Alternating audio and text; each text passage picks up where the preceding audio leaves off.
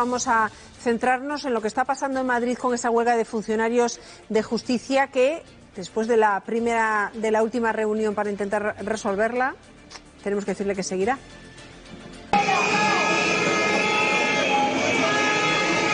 Manifestación que se producía esta mañana y después de esa manifestación, ayer tarde, una reunión en el Ministerio que ha terminado sin acuerdo. Tras la reunión de ayer entre el Ministerio y el Comité de Huelga, los funcionarios y funcionarias de justicia vamos a mantener la huelga indefinida.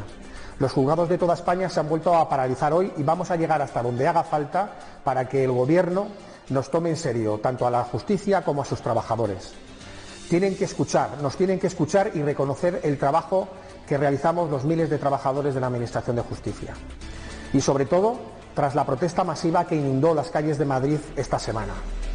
Lamentamos las consecuencias que esto está produciendo en los ciudadanos, pero el único responsable de esta situación es el Gobierno y el Ministerio de Justicia.